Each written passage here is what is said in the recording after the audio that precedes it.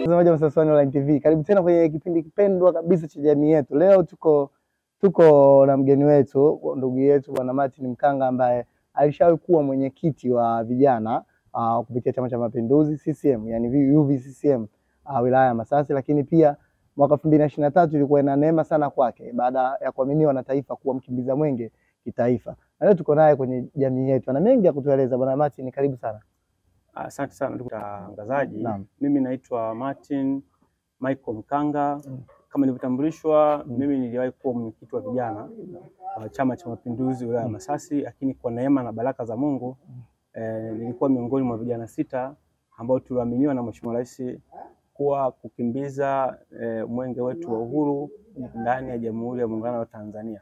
Mm. Kwa hiyo nawashukuru sana kwa kunikaribisha leo kwenye kipindi chenu. Mm. Eh, nawashukuru sana kwa kuniona. no. Asante sana. Tu- tuki, tukianzia kwenye kwenye siasa ulikuwa nahisi ni mwaka mmoja hivi na kitu toka ume, umetoka kwenye wenyekiti wa, wa UVCCM Mm. wilaya ya Masasi.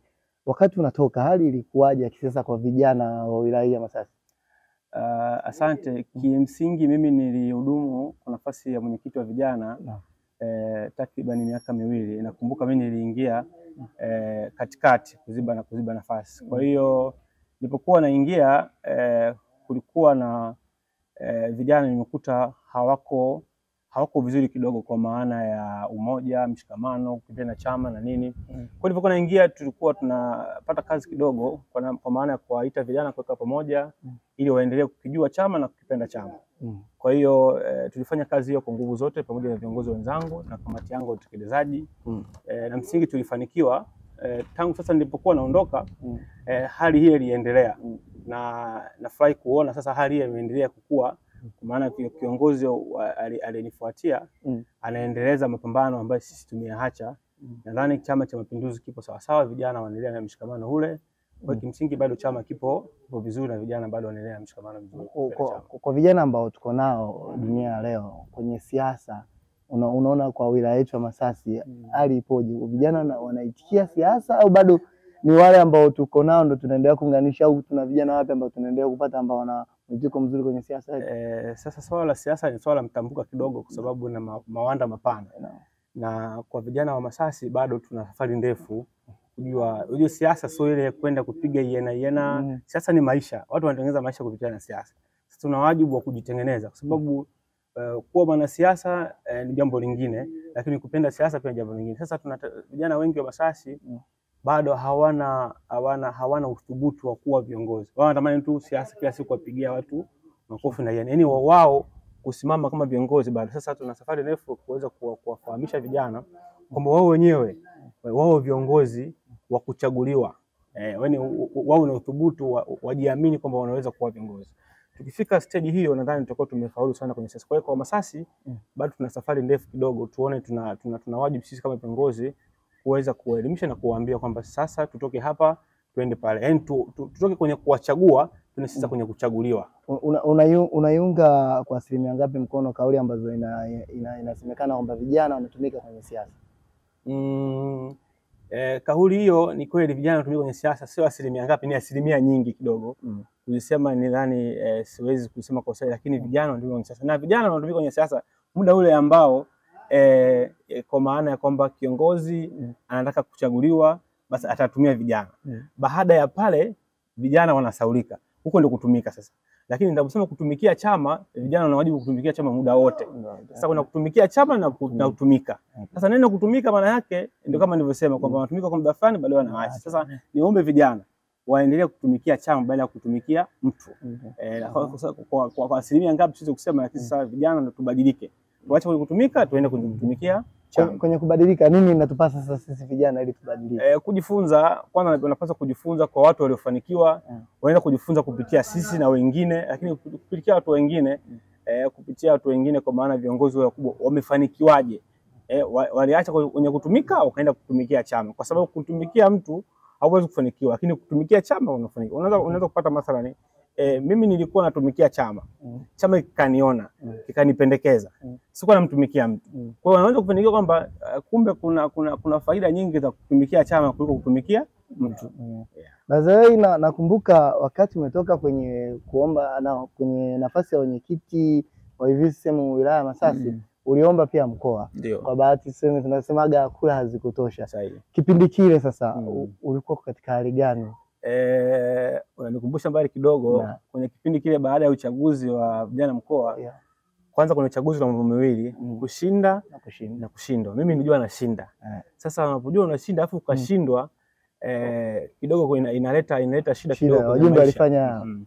Kwa hiyo kipindi kile kili- kilinipa kwanza mafunzo mengi kwa maana ya kwamba eh, kumbe kuna kushindwa na mimi sijawahi kushindwa kwenye, kwenye uchaguzi kwa ile ya kwanza kushindwa, kumbe kuna kushindwa. Sasa kubali kushindwa eh, ina, inakupa muda kidogo, lakini kwangu ilinifundisha kwamba Mm. eh, wewe unaweza kujiona ni bora, lakini watu kuona wewe si bora. Kuna bora kumbe, kumbe kuna watu bora zaidi yako. Kwa hiyo eh, lazima tujipe hayo tu, tu, tu, tuishi ki- ki- kinamna hiyo kwamba unapojiona ni bora wenzako, unaona kumbe wewe si bora. Kwa hiyo kipindi kile kimsingi kilinifundisha vitu vingi. Moja kwanza ni uvumilivu, lakini eh, tatu ni ustamilivu, kwa sababu eh, inaitwa political tolerance. Lazima hu, lazima huwe na uvumilivu kwenye siasa. Mm. Upasi kuongea, Mm. unapaswa una- una- unapaswa kukubali matokeo ndivyo yalivyo, kwamba watu wali, wewe watu walikupenda, lakini kuna mtu alipenda zaidi na chama kimesha mkubali, kwa hiyo lazima tuende naye. Kwa hiyo kimsingi ilinifundisha vitu vingi sana. kuna kuna niliona wakati ume, umepata ile uja, hujapita Mm. uli, uliweza ku- kukaa kimya, tunazungumza kukaa kimya, Mm. lakini kuna baadhi ya wanasiasa wengine ni wakongwe na hisi wamekuzidi hata kwenye ukongwe, lakini Mm. unakuta wakikosa zile nafasi huwa Mm. huwa wanatoka kuongea vitu ambavyo labda vingine ni jasiri ya ndani. Eh, Unazungumziaje hii situation? Shi- Shida hasa inakuwa ni nini? eh, ni kweli. Kwanza watu wanadhani kama nilivyosema kwamba watu wanadhani wao wanapaswa kuwa sehemu fulani kuliko wenzao. Mimi nilijitathmini nikaona mimi naweza kuwa pale, lakini watu wameona mimi sipasi kuwa pale kwa wakati ule. Kwa hiyo kile kilinifundisha kwamba kwanza sipasi kuongea Mm. na chama chetu kina macho, macho mengi na kina nafasi nyingi. Naweza mimi nikawa na- na- natamani kuwa mwenyekiti Mm. lakini watu au chama kikaniona nafasi ya mwenyekiti kuwa ni ndogo au kubwa kwangu. Mm. Kwa hiyo eh, watu wa kariba hiyo wa kutokubali matokeo, wa- wa kutokuwa na ustamilifu katika siasa Mm. eh, kwanza wanapaswa kujua kwamba chama hiki ni kikubwa, kina watu wengi wenye sifa wenye sifa za kuwa viongozi wakubwa.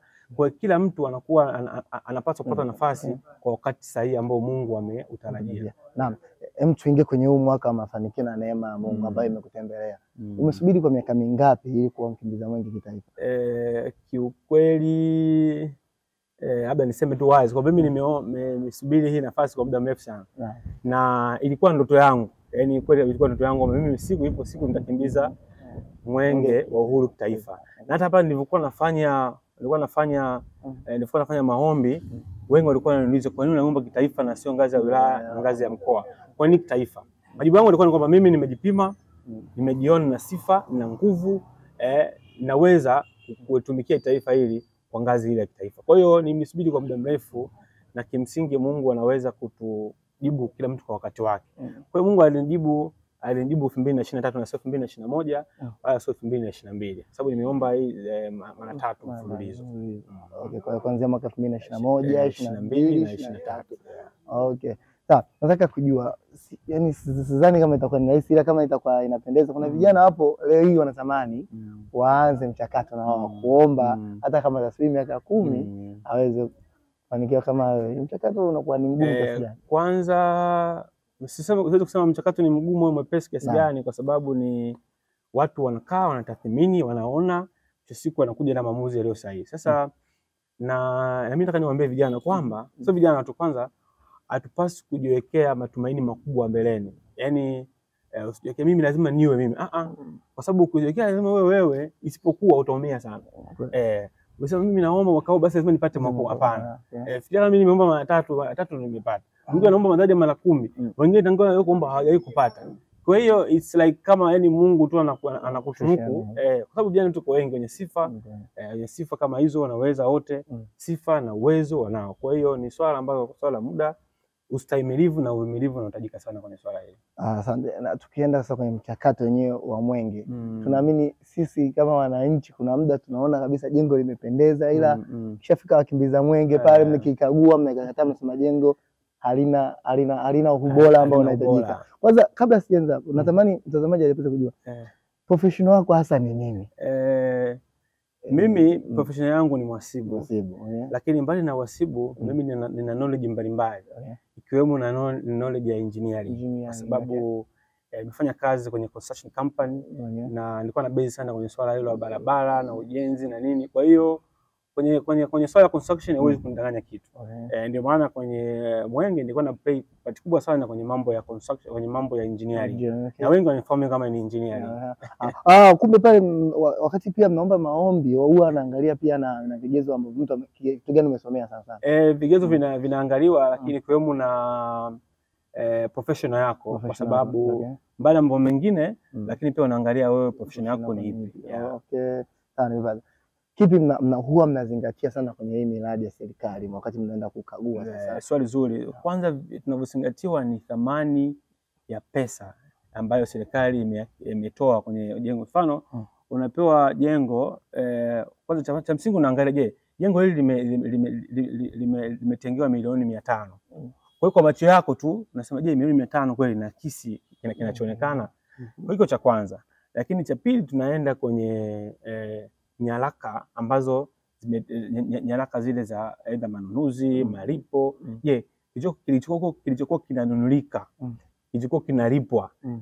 kitu ambacho kimefanyika. mm. Eh, kwa hiyo vitu vingine eh, vitu vingine vina, tunafuata eh, jinsi ya kumpata tenda Mm. kama kulikuwa na tenda zime- zime- zimetangazwa eh, wangapi waliomba, je waliomba walikuwa na sifa. Kwa vitu vingi vinazingatiwa vina, vina, vina, lakini kubwa ni thamani ya pesa, ulipwaji na nyaraka hizo ambazo zinahitajika kwenye ujenzi. Ah, okay. Sawa. Wakati mimi nakumbuka na, na, naanza kufahamu Mwenge na romance nyingi zinakuaga zingine sio za kweli, zingine sio za kweli. Mm. Kabla hujafahamu, yani kabla hujapata ile fursa ya kukimbiza Mwenge huku Mm. nyuma, kuna kitu gani ambacho ulikuwa unakisikia kwenye Mwenge Mm. na umeingia umekimbiza Mm. sio cha kweli? Kwanza kwanza wanasema ukipita mwenge lazima ufe. Eh. Ukipita mwenge lazima ufe, na sisi tulikuwa tunategemea mmoja wetu afe, lakini Eh, si kweli, kwamba sisi wote ni wazima, tumerudi na Mungu amesaidia, na kuna na kula mtu anayekufa. Okay. Eh. Na, na, na tunaambiwa kwamba mna- mnakuwaga mna, mnapewa mafunzo Eh, namna gani mna, hii inachukua ni muda gani? eh, kiukweli kazi ile kazi ile kupita mwenge mia siku mia tisini na tano bila eh, nani stop bila bila bila, bila kupumzika. Eh, haiwezi kufanyika hivi bila bila mazoezi. Eh, mazoezi ya training ya kazi, lakini pia mazoezi ya kwako binafsi, Mm. lakini pia ina ina ina ina inakwenda sambamba na afya afya ya kwako mwenyewe Mm, binafsi. yes. Kwa hiyo lazima upewe training na training inategemea na eh, eh, training haina muda, lakini inategemea na eh, eh, ukakamavu na uwepesi wa kuelewa eh, nyie ambao mnafundishwa. Sisi tuna- tunaamini wakimbiza Mwenge wengi wanakuwa ni wanajeshi. Mm. Unazungumziaje? Eh, ni kweli hapo mwanzo ilikuwa inata, inatafsirika hivyo kwamba ukimbiza mwenge lazima uwe mwanajeshi, lakini umeona mwaka huu mwaka huu eh, la, we, we, almost if- sisi watano ndio wote tulikuwa na raia Eh, eh. mmoja nilikuwa na askari. Kwa hiyo dhana kwamba kimbiza mwenge wote ni, lazima uwe na majeshi eh, nadhani imekuwa imekuwa imekuwa imekuwa proved wrong. Kwa hiyo eh, vijana wakakamavu, wajasiri, wenye afya nzuri eh, wenye sifa na vigezo vya kuweza pamoja na wao pia Mm. wao wanajeshi Ukakamavu, jasiri, uzalendo. Yeah. Mwaka huu umekuwa ni wa neema sana kwa mkoa wa Mtwara. Tume, Mm. tume, tumepata kijana mkimbiza Mungu kutoka mkoa wa Mtwara wilayani Mm. Masasi, lakini pia Mwenge ulizinduliwa Mm, hapa mkoani mm, Mtwara. mm, Wakati unaambiwa unaenda kukimbiza Mwenge mm, na. Mwenge unazinduliwa mkoani kwako, mm. ulikuwa unajisikiaje? Eh, kwanza katika haya mambo yote yalikuwa yanafanyika eh, mimi sikuwa najua sikuwa najua kwamba nilikuwa najua kwamba kilele kitafanyika Mtwara Mm. eh, ah, sio kilele Na ufunguzi. M- eh, ya, ya, ya, sio kilele na maana ya uzinduzi Uzinduzi, eh, okay. uzinduzi Yeah. uzinduzi wa mbio za mwenge zitafanyika mkoani Mtwara Mm. eh, kwanza kwangu ilinipa amani tangu siku ile inatangazwa na Mm. Mheshimiwa Rais kwamba mwakani uzinduzi utafanyika mkoani Mtwara. Mtwara. Nilikuwa na nilikuwa na furaha sana Mm. kwa maana nilikuwa najua kama Mm. Mungu alionyesha kwamba nilikuwa najua mwakani Mm. Mwakani nitaomba na nikiomba yake lazima mmoja wetu kana sisi ambaye tutaomba atatoka tutoka mwakilishi. Mm. Sasa nani alikuwa hajulikani. Kwa hiyo ilikuwa ni furaha kwangu kwa sababu kwa miaka mingi almost Mm. miaka ishirini na moja Mm. mkoani kwetu hajatokea Mm, eh, jambo la maana. mkimbiza mwenge. Mm. Kwa hiyo kwetu ni furaha na Mtwara kwa maana ya kwa tumepata mwakilishi Mm. lakini pia tunapopata uzi sehemu eh, am- amsha- ah, niseme zile zile hafla eh, aidha ni uzinduzi au kilele Mm. maana kunakuwa na mambo mengi yanafanyika. Mm. Eh, sisi tumepata bahati, mfano eh, uwanja wetu wa Nangwana sijaona umerekebishwa, unakuwa safi, sana lakini pia hata kukua kwa kiuchumi, mambo mengi yanakuwa Mm. yanafanyika, fursa nyingi nyingi za uchumi zinakuwa zinafanyika, watu wageni Mm. wanakuwa ni wengi, mzigo wa pesa unakuwa ni mkubwa. Kwa kwangu ilikuwa na furaha sana, na natamani eh, ifanyike hivi ndani ya miaka mitatu minne ijayo, kwa mtoa tupata hii neema. Kwa hiyo eh, ukiniuliza nilikuwa najisikiaje, nilikuwa najisikia vizuri, amani, furaha, na ningependa kama Mheshimiwa kimpendeza hii fursa atupe tena, na sisi tuko tayari Mtwara kuipokea. Okay. Sasa nime, nimeambiwa Bwana Martin ameshanua kiwanja anataka afungue kanisa. Bwana mchungaji. Hii ina ukweli. ah, si kweli, Eh, si kweli, mm, eh, si kweli. Mimi eh, kimsingi mimi nilitamani vitu viwili kuvifanya. Cha kwanza ilikuwa ni tamani kuwa mchungaji, cha pili nilikuwa natamani kuwa dokta. Why? Mchungaji nitaweza Mm. nitaweza kuwasaidia watu kwenda mbinguni, okay. lakini dokta nitaweza kuwasaidia watu kutibu na kupona. Lakini Mungu ananiambia haya mambo yote wewe yako si kweli, wewe wewe utakuwa mwasibu. Sasa Kwa hiyo eh, si kweli, lakini nilikuwa natamani kwa kwa mchungaji kwa miaka hiyo. Sasa nadhani ndoto zimeenda. Ila mimi naamini tuna tuna mtaji tunaweza kuwa tunao sasa tunaweza kufungua kanisa kufungu- Unajua, kufungua kanisa ni jambo lingine, lakini pia ku- kwenda mbinguni ni jambo- la pili. mm. Eh, kwa hiyo mimi sitaki watu kwa, kwa, kuwapeleka motoni. Eh, Kwa hiyo kwa hiyo hapana. Okay, tupe neno sisi vijana ambao tuna tumejaribu ku, saizi kuwa wewe ni role model wetu. Eh, vijana, neno kubwa ambalo napenda kuwaasa ni kwamba eh, kwanza muda muda eh, muda ni kitu cha thamani sana kwetu kwa maisha yetu. Ni maana vijana tunapoteza sana muda. Eh, vijana wa sasa tunapoteza sana sio sasa, vijana tunapoteza sana muda kufanya mambo yasiyotupasa kufanya. Eh, kama kwa tunafanya mambo yanayopasa kufanya, eh, muda ulikuwa ni mzuri sana. Mfano sisi tumekusanyika hapa tunafanya mambo yanayopasa kufanya. Mm. Wengine wapo bado wana- wanajiuliza nini cha kufanya saa hizi, wakati nimeshafika saa 4 saa 5 saa hizi. Kwa hiyo lakini la pili eh, lazima tujiulize, tujitathmini. Hatuna hatuna self judgment tangia tume, tumekuwa mpaka sasa tumefika hapa eh, una miaka ishirini na tano au miaka ishirini na sita ishirini na saba ishirini na nane Mm. unaenda una- una una approach miaka thelathini eh, unadhani nini unapaswa kufanya kama kijana wewe kwenye jamii yako au kwenye nchi yako au kwenye sehemu kwenye familia yako. Kwa hiyo mimi ninachoweza kufanya ni tufanye self judgment, lakini tu maintain muda, lakini pia tujue tunachofanya ndio matokeo ya kesho. Eh, yani Mm. unachofanya leo ni matokeo Matokeo ya kesho. matokeo ya kesho. Ukiwa mwizi Mm. kesho, kumbuka watu wako wezi. Ma- matokeo ya mwizi kwa unachofanya leo ni matokeo ya matokeo ya kesho. Na, na, na, naamini ulikuwa unawatumikia vijana kwa wilaya ya Masasi ukatamani watumikie vijana kwa wilaya mkoa, Mm. japokuwa kula hazikutosha. Sasa Sawa. natamani kujua Bwana Martin Mm. kwa sasa ana mpango gani wa kutumikia vijana?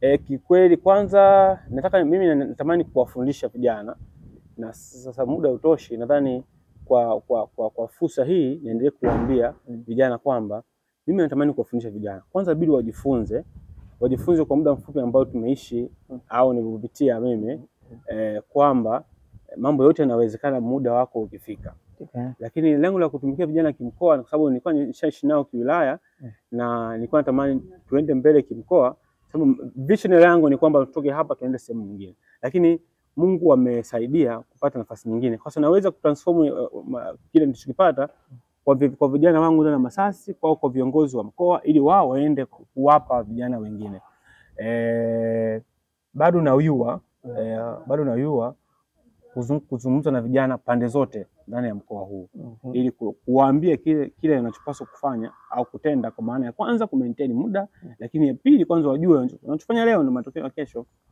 Kwa hiyo tuamini Masasi tunaenda kumpata Joel Nanguka wetu. Eh, sasa mimi sio inspiration speaker Eh, Nauka ni inspiration speaker. Mimi mimi mimi mimi ni mwanasiasa ambaye mwanasiasa ambaye Mm. eh, mwanasiasa ambaye napenda kusema ukweli. Okay. Eh, sipendi kuzungumza, napenda kusema ukweli kwa maana eh, ukweli ni tiba. Eh, ukweli ni tiba. Kwa hiyo nitaendelea kutoa tiba Mm. eh, kadri vijana wanavyokuwa wana- wanataka kupokea. Okay. Kwa hiyo kama ni mwanasiasa tunaweza tukafungua darasa la itikadi. yeah, possibly nadhani Mm. hiyo hicho kitu ndo kipo kwa maana Mm. darasa la itikadi ile mafunzo Mm. tukisema ueneza tuna- tunaendelea tu- tu- tunaingizia tunaingizia yeah, nafasi ya mtu mwingine ndio ya, ya Makonda na ya- yeah. ya Makonda na Tutwaili kwa Masasi. Oh, Sasa eh, waki- lakini wakinialika kwenye madarasa hayo, mimi niko tayari kutoa kutoa mafundisho na mafunzo. Mimi nime- nimelelewa kwenye chama Mm. lakini pia nimekulia kwenye chama, kwa hiyo lakini pia nilipata exposure hii ambayo nilipata. Kwa hiyo mambo mengi sana kuambia vijana, sio tu kwenye siasa, lakini pia katika mambo ya kiuchumi. kuna wanafunzi kuna wanafunzi zaidi ya ishirini wanasubiri darasa lako la itikadi. Unaahidi kuanzia muda gani tunaweza tukaanza kuipata hiyo darasa? Mimi niko tayari kuanzia leo mpaka tarehe ishirini na saba. Okay. Niko kuanzia leo kuanzia mpaka tarehe ishirini na saba katikati, niko free muda wote, niko Okay. tayari. Kwa muda wote, na mimi na mimi na mimi nafanya kazi masaa ishirini na nne. Kwa sababu mimi ni askari. Bwana mpenzi mtazamaji wa Msasani Online TV, tulikuwa na ndugu yetu bwana Martin Tanga yeye ameeleza mengi, amefunguka mengi kuhusu vijana, na mimi leo sina ziada, ila nikukumbushe tu kipindi chetu kimepewa kimepewa udhamini mnono kabisa kutokea pale uh, Geju Investments FI ambao wapo nje afisi ofisi. Hao wanahusika na masuala ya kuprint t-shirt, vikombe, kubrandi maofisi, magari, chochote ambacho wewe unacho unatamani kuprinti, onana na Geju Printing Press. Lakini pia bila kusahau wadhamini wa nguvu kabisa umetokana na uh, na ni kampuni moja inaitwa One Day Yes Investment. Hawa bwana wanahusika na masuala ya kutengeneza vinywaji pamoja na majani ya chai. Vinywaji hivi nazungumzia, kuna pombe kali na laini pia, na pia wana juisi soft drink kabisa. Hawa wanajulikana kwa jina la Yetu Wine, wana Yetu Juice na Yetu Banana. So kwa hapa sina ziada, tukutane kwenye kipindi kingine. Shout out. Basi.